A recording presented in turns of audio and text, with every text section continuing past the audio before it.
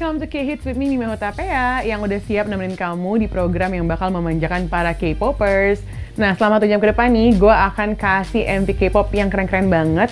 Dan juga kali ini gue akan kasih info menarik tentang MV K-pop tercepat yang meraih 100 juta viewers di YouTube. Gak cuma itu aja Cinggu, tapi di segmen K-Flix nanti akan ada drama barunya Jang Dong Yun yang bakal gue rekomendasiin.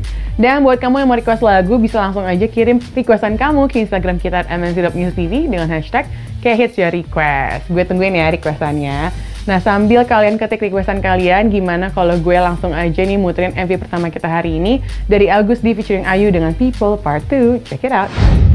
Yorabun, you're still watching K-Hits with me, Mima. Dan baru aja kamu simak MV-nya Blackpink dengan The Girls. Anyway, sebelum Mima lanjut ke playlist berikutnya, gue punya info nih tentang beberapa MV yang meraih 100 juta viewers tercepat di YouTube. Langsung aja kita mulai dari MV pertama. Ada MV Sugar Rush Ride by TXT. Cinggu, MV Sugar Rush Ride yang dirilis pada 27 Januari 2023 ini emang berhasil mencuri perhatian ketika dirilis ya. Mengambil lokasi syuting di Bali, MV yang menampilkan keindahan alam Bali ini pun langsung trending nomor satu di YouTube Indonesia. Bahkan ya MV ini juga berhasil meraih 100 juta viewers di YouTube hanya dalam kurun waktu 37 hari aja sejak dirilis. Wah, keren banget ya. Dalam 37 hari langsung lo viewersnya banyak banget. Oke, okay, next ada idol yang juga satu agency dengan TXT nih. Dia adalah Jungkook lewat MV-nya Seven. Single solo perdana Jungkook ini emang berhasil mencuri perhatian banyak orang ya. Ya, Seven berhasil mendominasi chart music di berbagai negara. Salah satunya menduduki peringkat nomor satu di Billboard Hot 100, tanggal lagu terpopuler Amerika Serikat selama sepekan. Gak cuma itu aja, tapi MV7 ini yang dibintangi oleh artis cantik Han Sohee juga berhasil mendapatkan 100 juta viewers di YouTube hanya dalam waktu 10 hari aja sejak rilis. Debak Jungkook, emang luar biasa ya Golden Mac nih BTS satu ini, prestasinya tuh nggak main-main. Oke, okay, dari Jungkook kita akan beralih ke idol berikutnya. Ada salah satu personel Blackpink, yaitu Jisoo dengan lagunya Flower. Debut Jisoo sebagai penyanyi solo emang udah dinanti-nantikan oleh banyak orang ya. Jadi nggak heran ketika dia merilis single Flower, lagu ini pun langsung booming. Selain itu ya, MV Flower yang menampilkan visual Jisoo yang cantik banget ini juga berhasil mencuri perhatian banyak orang. Hanya dalam waktu 8 hari setelah dirilis di YouTube, MV Flower berhasil meraih 100 juta viewers dan menjadi video music K-pop dengan 100 juta viewers tercepat sepanjang tahun 2023. Wow, amazing banget ya Jisoo. Dan pesona Jisoo juga bikin kita terpesona di MV Flower ini. Pokoknya bener-bener cantik banget. Dressnya, make upnya, semuanya stunning banget. Oke, selanjutnya nih ada grup rookie yang udah dinantikan oleh banyak orang debutnya. They are Baby Monster with Butter Up. Baby Monster emang bikin kita penasaran banget ya dengan debutnya mereka. Setelah sempat mundur nih, akhirnya mereka resmi debut dengan merilis single Butter Up pada 27 November 2023. Kerennya, lewat debut ini, Baby Monster berhasil mencetak prestasi dengan meraih 100 juta viewers di YouTube untuk MV Better Up hanya dalam waktu 18 hari aja. Better Up pun memecahkan rekor dengan menjadi video music debut grup K-pop tercepat yang mencapai angka 100 juta views mengalahkan MV Black Mamba milik aespa. Yes, Cinggu! Itu dia beberapa MV yang mencetak 100 juta viewers di YouTube hanya dalam waktu yang sangat singkat ya. Luar biasa banget mereka sukses bikin kita terpesona dengan MV-nya.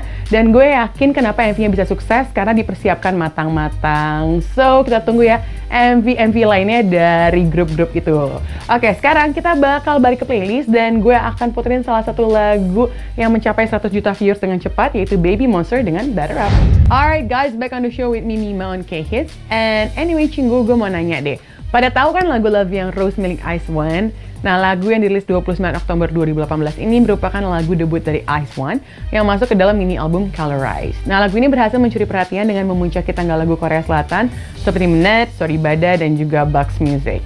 Dan gak cuma lagu Love yang Rose aja yang mencetak prestasi, tapi mini album dari Colorize milik Ice One ini juga berhasil memuncaki chart iTunes Top Album di 8 negara. Selain itu ya, mini album tersebut terpilih sebagai best selling album di peringkat Real Time Hunter Chart dan menjadikan Ice One sebagai girl band rookie yang mendapatkan penjualan terbanyak di hari pertama debutnya. Keren banget ya. So buat kamu nih yang kangen sama lagu Love yang Rose milik Ice One, langsung aja kita mau enjoy di segmen flashback kali ini.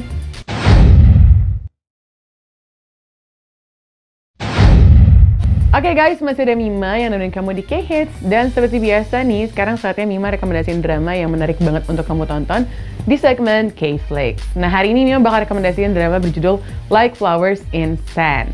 Nah, drama bergenre misteri komedi ini dibalut dengan romance dan menceritakan tentang Kim Baek-doo, yaitu pemuda yang bergabung dalam serum atau olahraga gulat tradisional Korea. Nah dulunya dia tuh dikenal sebagai pegulat yang jenius, tapi karena suatu peristiwa, dia jadi nggak terampil lagi dalam bergulat. Nah hal ini membuat Kim Baek-doo berpikir untuk pensiun dari olahraga yang dicintai oleh keluarganya ini. Tapi dia menghadapi titik balik dalam hidupnya usai bertemu dengan cinta pertamanya yaitu Oh Yo Kyung. Mereka pun mulai kerjasama membesarkan Serum kembali. Wah seru ya. Kira-kira gimana nih kelanjutan perjuangan mereka berdua? Langsung aja kita simak, ini dia trailer